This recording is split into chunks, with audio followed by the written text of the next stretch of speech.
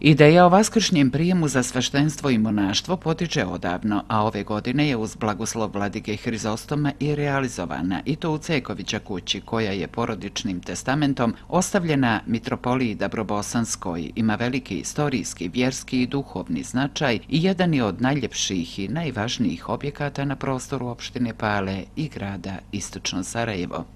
Mene je zaista velika čast i zadovoljstvo da smo sve vačer se okupili ovdje u Cekovića kući ovdje koja zaista i treba da bude ono zašto je ona i namijenjena, da bude kuća kulture, kuća dešavanja srpskog naroda, ovdje ne samo Srba sa Pala, nego Srba cijele Sarajevske i Sarajevsko-Romanijske regije, da se ovdje uvijek u dobru okupljamo, da se radujemo, da se veselimo i da se dogovaramo.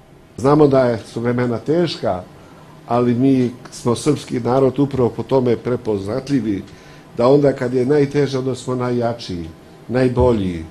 Možda iz nas izlazi neka sila koju mi ne znamo. Zašto je to tako, to sam Bog zna.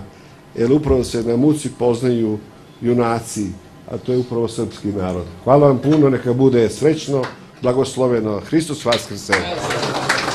Ovo je i vrijeme i mjesto na kojem treba da se okupljamo, rekao je gradonačelnik Istočnog Sarajeva. I dobro je da smo to možda sada uradili. S druge strane, dobro je što smo možda i osam dana posle Vaskrsa, jer ste svi vi služili na neki način, da kažemo narodu, prethodnih osam dana, evo mi ćemo se potruti da večeras mi napravimo ovdje druženje, da mi služimo vama.